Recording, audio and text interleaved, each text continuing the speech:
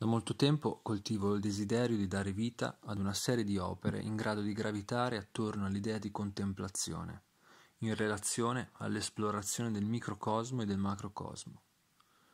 Questo perché provo da sempre un forte interesse per la natura in ogni sua forma, quindi la natura dell'acqua, della vegetazione, ma anche la natura di una stella o la natura dell'universo.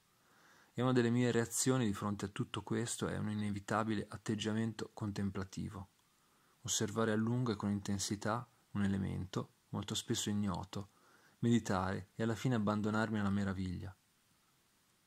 Penso inoltre che l'atto di contemplare rappresenti il desiderio e il fine più primitivo che spinge un artista a produrre un'opera, con l'intenzione implicita di stimolare nello spettatore lo stesso medesimo atteggiamento, fermarsi, osservare e pensare.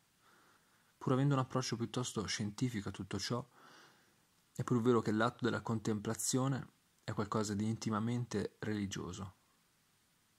Quando ho visitato gli spazi della cappella dei notai, in cui è davvero difficile ignorare la forte tematica religiosa degli affreschi, ho semplicemente capito che probabilmente era l'occasione giusta per preparare la prima opera di questa serie.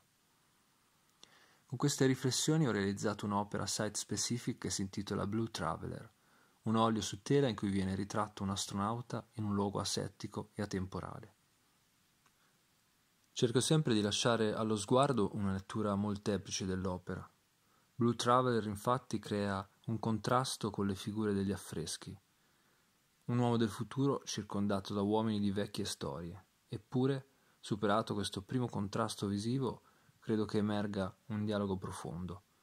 Un dialogo che in questo caso può parlare di condizione umana, una condizione che è inevitabilmente legata alla natura e al cielo alle leggi dell'universo, alla luce e all'oscurità.